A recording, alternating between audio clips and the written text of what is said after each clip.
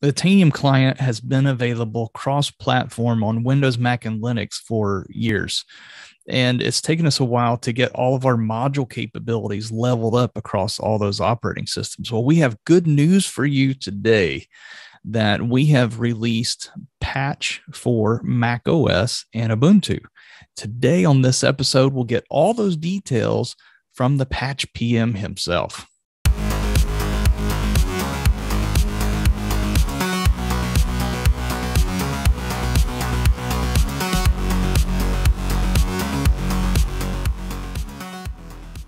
Well, welcome back to GoTanium Tech Talks. I'm your host, Ashley McGlone. And no, I don't wear this uh, ugly sweater every day. This is a callback, actually. If you've been with us from the beginning of GoTanium Tech Talks back on episode five, very early, we are just getting the show started. January 6th of 2021, we dropped the Patching My Ugly Sweater episode, and we talked about some Linux updates with patching then today, this is dropping on January 5th of 2022, episode 32. And now we're coming back full circle with more patching goodness with our uh, guest today, the Patch PM, Greg Thomas. Greg, tell us a little bit about yourself. Yeah, I'm the Patch and Deploy PM here at uh, Tanium. Uh, really focus on the operation side of our uh, of our portfolio, and been in the operation space for 20 plus years um, windows mac linux you know all, across the board automation. Uh, just really excited to talk with you all today about some of the uh, some of the improvements and new features we're adding to patch uh, that we have added and that we're adding in the very near future as well yeah, there's so much to talk about. We have been very busy in the innovation department. So, first, before we get into uh, the patching for these two operating systems specifically, could you catch us up a little bit on what are some of the improvements that we've seen in patch uh, this particular module over the last year? Yeah, there's been a, a general overall um, user interface improvement. Uh, you know, November of last year, we, we released this brand new interface. Um, turned out that there were tons and tons of improvements we could make performance wise. Large customers with hundreds of thousands of endpoints uh, pulling this data in and manipulating this data and moving around.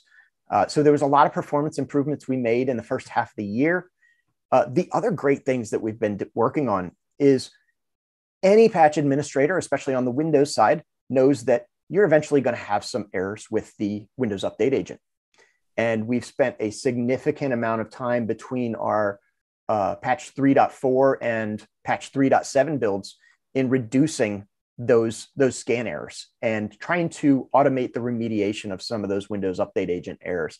And what we found is that we were able to reduce those by 30 to 40% in most environments. And it's, it's, a, uh, it's something we're continuing on. Right? We're going to continue attacking those little by little and continuing making improvements to, uh, to make lives easier for our customers. Yeah, I remember when those came out earlier in 2021 when I was working with my customers and the the interface speed enhancement was very nice but then those windows update errors just kept coming back and you know that's kind of what the platform does. We as tanium we don't have any uh, special back door into windows. We use the windows capabilities in that case and i know we there's a, a million things that can go wrong with a patch and so we've done our best to handle all those cases so good work there. Yeah you know i wish i could tell you that for every one of the several thousand uh, Windows Update errors, there was an answer.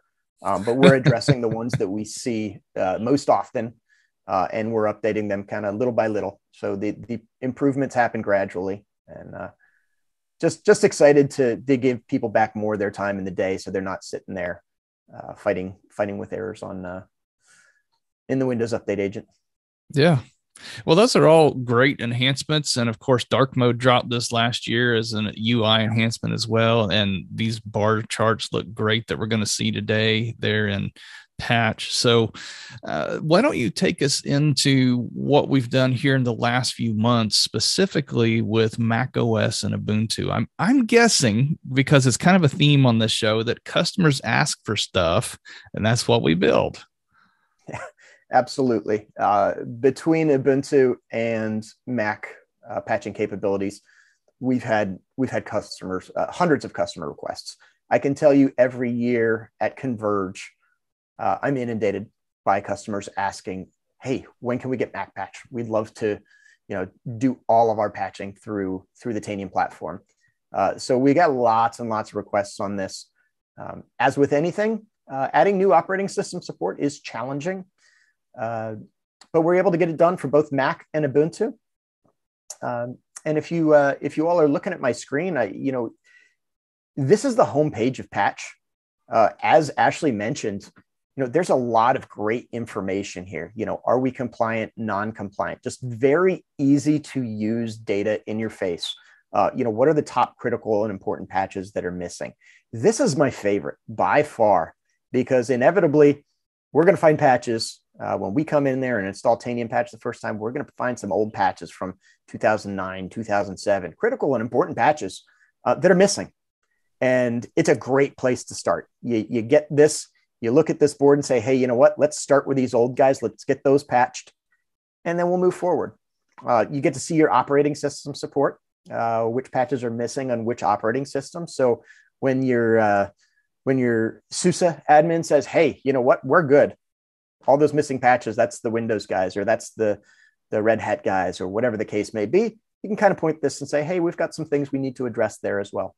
So it's it's really nice seeing these views, all this data. You can drill down in in um, in your standard standard Tanium fashion, get details on the endpoints, uh, whatever details you want.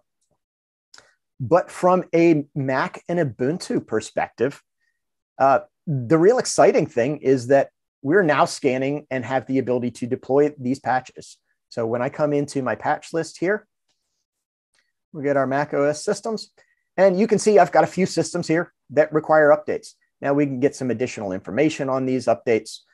Uh, what systems require these updates, the CVEs associated with them, the Apple IDs, um, now, the nice thing about these KB articles, we labeled them KB articles because we started with Windows.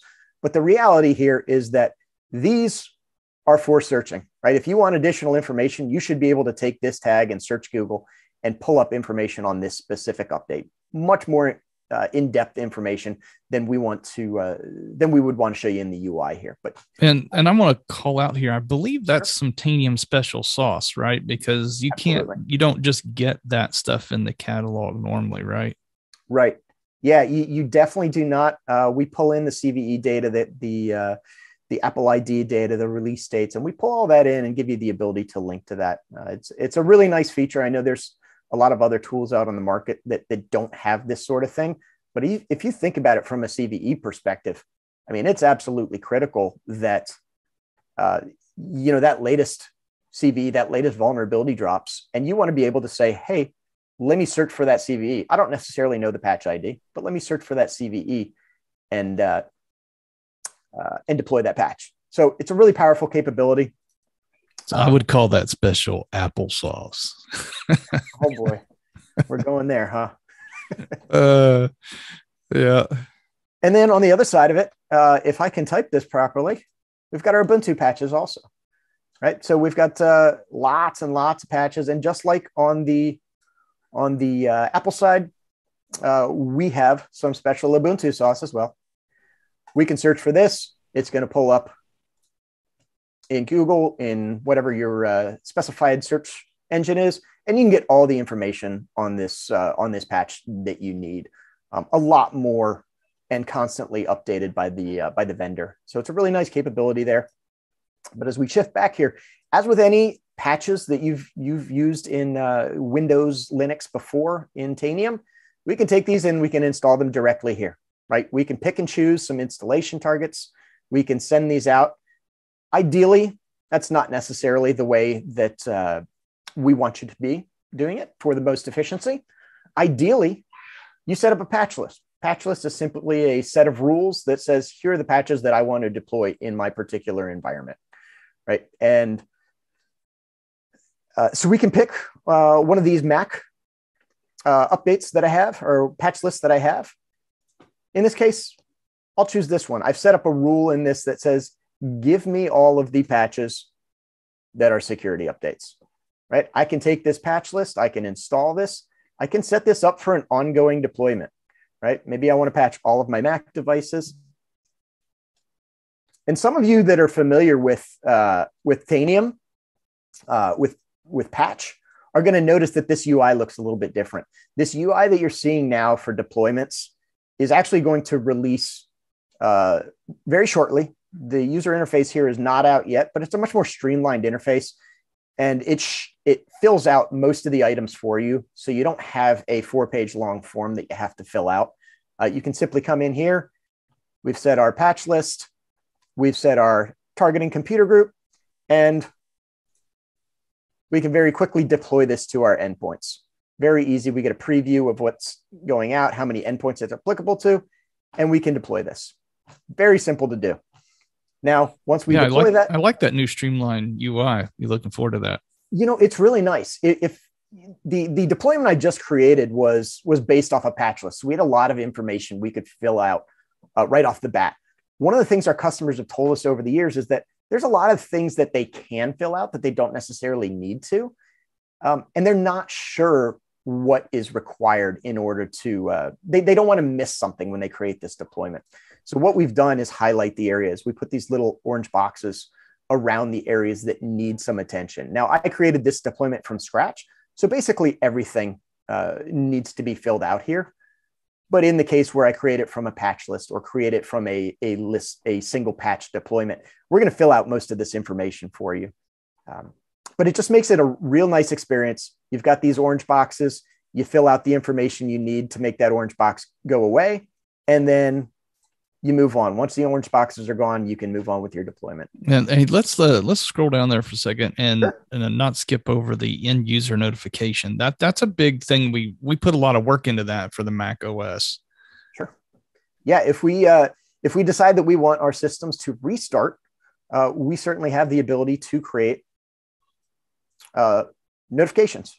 Right. So for um, for our Mac endpoints, the notifications are going to be just like we have on the Windows side you have the ability to say, after a deployment, I want to give somebody eight hours before they reboot. Um, you know, this is all configurable. I want to give them the ability to postpone. I'll give them a 15 minutes postponement and a one hour postponement and a and a four hour postponement. And as these as they choose one of these options, you know, they'll be prompted uh, again after that amount of time. Uh, and then our final countdown deadline hey, when we get 10 minutes from this final deadline where we're going to force a reboot, we're going to pop a notification and not give you the ability to to uh, to get rid of that notification. It's kind of your final, hey, this this system's going down, and we want to let you know. Um, but everything's customizable here. Uh, you can put whatever you want in these fields. Uh, you can brand it. You can add a title icon. Uh, you can add a body image. Uh, so very easily, I can come in here. I can add my my patch icon there, I can add my my own personal GT Industries icon here, and then whatever text we we want to put in there, right? Security updates required. Nice. And it's just very easy. Uh, language, uh, you, you can add additional languages based on the operating system. Just a real nice capability, and that's that's going to be the same on the uh, on the Mac side as it as it is Windows. So I know some of our viewers are wondering, we're announcing Mac OS and Ubuntu. Do we have end user notification for Ubuntu? We don't have end user notifications for Ubuntu yet. Uh, and this goes back to a theme you brought up at the very beginning of the call, Ashley, is that um, we're simply not being asked for it yet. I, I, suspect at some point in time, customers are going to want notifications on their Ubuntu systems. Uh, there's a lot of Ubuntu uh, laptops out there, developers, uh, remote work, uh, remote users um, as opposed to just servers, like a lot of our other Linux operating system support. So I, I, expect that we will add it at some point in time. And it really comes down to uh, once we start getting that volume of customers requesting the feature, we'll go ahead and add it. Uh, until that time, we'll keep working on the on the features that we have been uh, asked for already. So for our this is a show for admins. So for our on-prem customers, if you're in Tanium Cloud, you've already got the the latest module upgrades. But if you're on-prem, what versions do people need to look out for for patch module releases to get the Mac OS and the Ubuntu patching? Yeah, so uh, Mac OS released in uh, patch 3.6 and Ubuntu was added in 3.7. uh, we will continue adding additional support on the Ubuntu side. Um, actually, Ubuntu and Debian in 3.8 uh, for patch. That's going to be coming up uh, over the next couple months. Um, but yeah, that'll support Ubuntu and Debian as well. Uh, one of the things I do want to point out is that uh, in order to enable uh, Ubuntu and Mac support, a couple things you need to do. Just come to the overview and then come over to the settings and then switch to the operating systems tab here. And you're going to want to make sure you have this enhanced Linux support uh, box checked in order to enable Ubuntu and check this box in order to enable Mac OS. And the main reason we do that is there's some customers that don't have those operating systems. We don't need to config- create those configurations for them at all. It just makes the view easier if they don't have those operating systems at all. So just go ahead, check those guys, save this, and then as soon as you go back into your um, into your uh, patch module here, you'll see the options for Mac for uh, Mac and Ubuntu for all the different uh, all the different areas. Nice little touches, you know. Uh, not every customer, like you said, is going to have those, but uh, that's great. I like that. So we also have some materials uh, for our customers that are uh, just toes in the water with these new operating systems. Uh, if you go to our community site, there's a couple articles here. One by Darren Chin uh, covering our Ubuntu support, and one by Kelly Huynh uh, covering our Mac OS support. Um, and just want to give a shout out to Kelly because she did a ton of work in helping us develop the solution for Mac Patch. She's she's a true uh, expert when it comes to Mac, and uh, she's just given us an incredible support as we built this capability, and uh, she continues doing so in, uh, in in supporting our community via articles like this. Yeah, and, and, Kelly was a guest on the show uh, last spring. We, she was talking about Mac capabilities, and she was hinting we were talking about patching for Mac at that time, and now here it is. It's actually released. This is great. Yeah, yeah, absolutely. Uh, she she's a uh, she's always been behind the scenes. She knows what's going on with it, so uh, she, she's the true expert there. I uh, just want to give you all a view here. You know, when you patch your Macs, you're going to give the the ability to do these end user notifications. Um, this also is a new interface. Uh, matter of fact, Ashley, uh, we we reskin this thing. Uh, it looks a lot more modern, a lot more professional. Again, all these items are configurable. You can configure this icon. You can configure an icon up here. You can configure the entire message here. Um, so it's the, the idea here is to make it customizable, make it customizable to fit uh, your business's needs and what your users expect.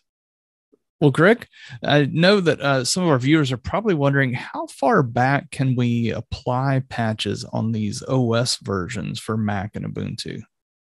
Yeah, so for Mac, our current support is uh, back to 10.14 uh, Mojave. Uh, 10.14 and above will support uh, Monterey works great. Uh, lots of lots of testing on that. And for Ubuntu, our support currently only goes back to 1804. So 1804, 2004. Um, I do expect, I fully expect that we'll add additional operating system support on the Ubuntu side. The primary reason uh, that we released with just 1804 and 2004 is because the one, those are the primary operating systems our customers are asking for. Customers needed this now. Uh, so we pushed off some of the testing of the, the older operating system versions um, in order to get the release out. I, I suspect in 1404 and 1604, the solution will work as it is. But before we announce support, I think we just want to do a little bit more uh, due diligence on the testing side. That makes sense. And on the Apple side, I know some people are wondering, uh, and you and I were talking about this earlier. What about M1? Yeah, yeah. So Apple Silicon, uh, it's it's an interesting story there. So Apple made some changes in the way the operating system works in relation to software updates in um, for their, their devices running on Apple Silicon. And what that means is that uh, currently on, on Apple Silicon M1 chips, you can use Tanium Patch for auditing, right? The entire uh, the entire ability to go in and see which patches are installed, which patches are missing.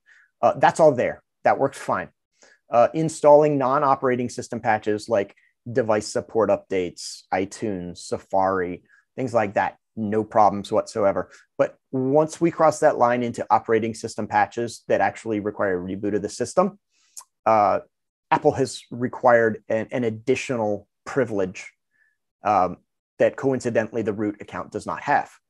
And so right now we cannot patch the operating system patches on Apple Silicon. Uh, I suspect in the future that's something we'll support via MDM commands, but at this point in time, uh, those patches aren't going to work on the um, on the Apple Silicon, unfortunately. Yeah, yeah. Everybody in the industry that provides services for those devices right now are kind of going through this uh, these growing pains of uh, supporting the M1.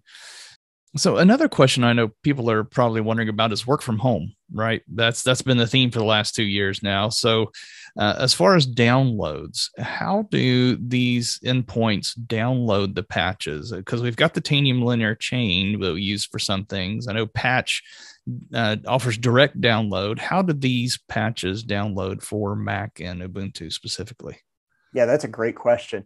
So out of the box, these support. Uh, those direct download scenarios. Um, with Apple, with Macs, uh, that is the only um, that's the only model that Apple's allowing now. There used to be a method where you could create your own repository and download from those. Um, that's not that's not a possibility in, anymore in Big Sur and above. So all the Apple downloads come directly from Apple. From an Ubuntu perspective, the capability we have now is what we like to call repository scan. What that means is that the endpoints reach directly out to their repository. So if you have endpoints and you configure them to the online Ubuntu repositories, they're going to go ahead and download their patches directly from those repositories. So it's not coming back over your corporate LAN. Um, they're doing their GPG signature check before they install the updates. So you don't have to worry about the, uh, you know, anything malicious coming down. Uh, they're all signature verified, get those updates installed. One thing I do want to point out is that for all those Ubuntu systems that you have on premises that you actually would like to use the Tanium linear chain for, that capability is in what we call Tanium scan. You know, Tanium scan versus repository scan. That's the piece that's going to be coming in in a, uh, a patch 3.8 build as well. So right now it's direct to the repository. It's as simple as it gets. You basically turn it on and say go scan, um, and it starts doing its thing. Uh, Tanium scan's a little bit a little bit trickier, where the Tanium server acts as a proxy for all those patches for all the scanning metadata, kind of like a repository of its own. Um, so again, it's just a matter of we wanted to get this capability out in customers' hands as fast as possible, and we'll add the bells and whistles in uh, in the next release. Uh, uh, so now I'm just uh, wondering, do you have anything else for us you want to drop today? Maybe what's coming soon before we wrap up? Yeah, I think uh, just another thing I want to point out here. We've been talking all about patch thus far, right? Our operating support and patch.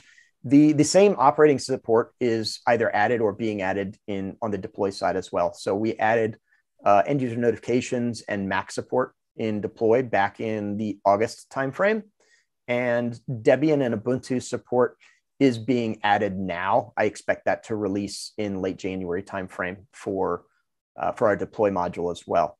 Uh, beyond that, some of the some of the really cool things that I expect to see here in the near future are uh, self-service on the Mac, right? The ability to open up the self-service portal and give your Mac users the ability to pick and choose the software that they want to install um, that you've that you've provided in a profile for them. Um, and then beyond that, uh, self-service for patching. Uh, right? I want to tell customers, hey, these patches are going to install. They're going to be forced to install at the end of the month. But if you're taking a long lunch break or you're done for the day, go ahead and push that button and install them now. Uh, that self-service capability is is really powerful and something we're excited to get out to our customers. So that'll be coming over the next uh, over the next couple months as well. Man, that's huge. Uh, that is just huge. I know the customers I've worked with have been asking for those things for a while. That's going to be so nice. Well, Greg, thank you so much for this update on uh, patching our ugly sweater, the 2022 edition here, as we're releasing Mac OS and Ubuntu patching now with Tanium. So we've got you covered cross platform, Windows, Mac, and Linux on patch and deploy. You got that little plug in there as well. So today, at the end of the episode, uh, normally I do a little takeaways. I'm just going to let those roll on a slide and with some new show music as well. Hopefully, you like the new paint job for the uh, graphics and branding, and I might be experimenting with that a little bit over the next uh, couple months. So you might see that change again. But hopefully, you like the new paint job for the show, and uh, you know, all the YouTubers out there say smash that like button, like and subscribe. I I usually don't like to say all that stuff, but hey, we'd appreciate your support if you'd like to like and subscribe down here. We'd appreciate it. But anyway, thanks for joining us for this episode of GoTanium Tech Talks. And until next time, GoTanium.